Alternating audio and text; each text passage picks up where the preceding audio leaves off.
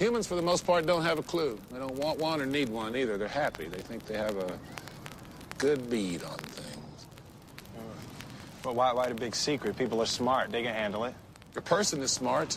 People are dumb, panicky, dangerous animals, and you know it. 1,500 years ago, everybody knew the Earth was the center of the universe. 500 years ago, everybody knew the Earth was flat. And 15 minutes ago, you knew that people were alone on this planet. Imagine what you'll know tomorrow.